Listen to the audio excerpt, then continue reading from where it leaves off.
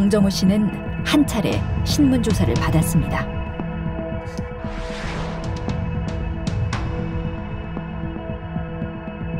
라나이 주점에 21시 30분 이후 도착했습니다.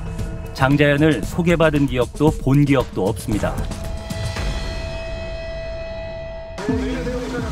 하지만 소속사 김 대표의 증언은 달랐습니다. 김 대표는 그날 라나의 술자리에 있었습니다. 방정우에게 우리 소속사 신인 배우라고 소개를 한 것으로 기억합니다. 서울길에 그때가 이제 뭐 저기 조선일보 뭐 그분들 술자리 할 때 이제 이런 이야기를 했었죠.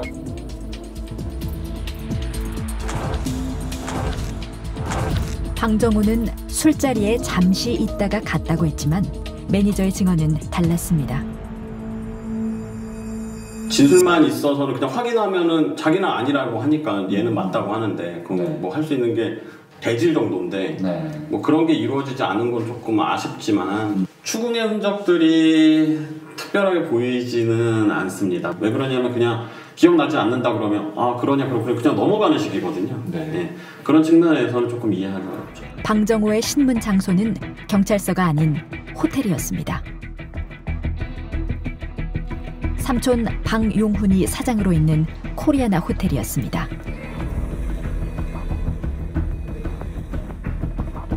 이 호텔 2104호는 스위트룸입니다.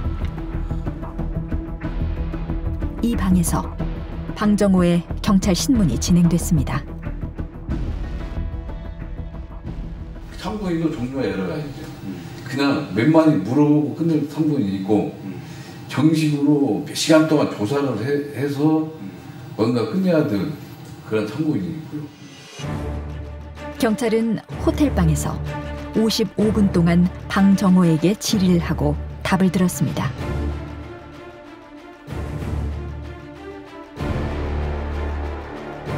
하지만 이 신문 조서에는 경찰의 이름이 없습니다.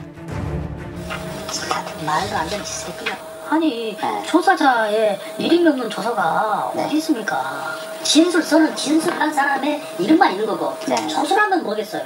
문답 문답이지 않습니까? 조서라는 것은. 그렇죠. 예, 어? 예. 문답이면 문 문을 누가 했다는 거예요? 문을. 어, 근데 공판에 이렇게 지출됐는데 재판부에서 아무 얘기가 없었나요? 재판할 때는 아무 일 없어. 이거는 일단 네. 그 법적으로 유효한 조서가 아니지 않나요? 음. 도대체 누가 방정호를 신문했을까요? PD수첩은 취재를 통해 담당 경찰을 찾았습니다. 안녕하세요. 저 MBC PD 수첩팀이고요. 예, 그건 내가 안 해.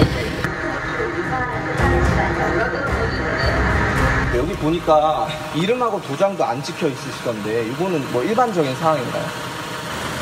지워서 줬겠죠. 거기에 저기 여기 저기 저 문서 연락 요청했을 때 하지만 금세 말을 바꿉니다.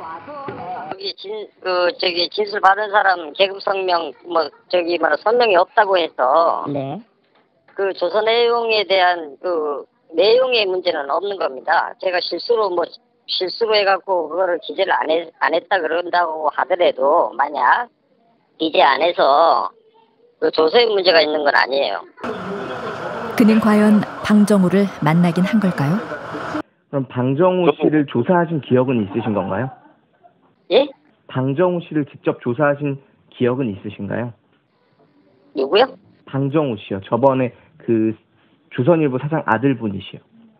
예, 예. 분이 혹시 직접 나와서 얘기 답변하신 거 확실하신가요? 누가요? 방정우 씨 만나서 조사받았죠. 방정우 조사했을 때 혼자 가셨었나요? 아니죠. 누구랑 같이? 경찰관 은 혼자서 안 갑니다, 원래. 누구랑 같이 가셨나요? 누구랑 같이 간거잘 기억이 안 나요. 공식 조서에서 사라진 경찰들. 그들은 왜 이름을 감춰야 했을까요? 방정호에 대한 다른 수사는 제대로 한 것일까요? 2008년 10월 28일 라나의 술자리.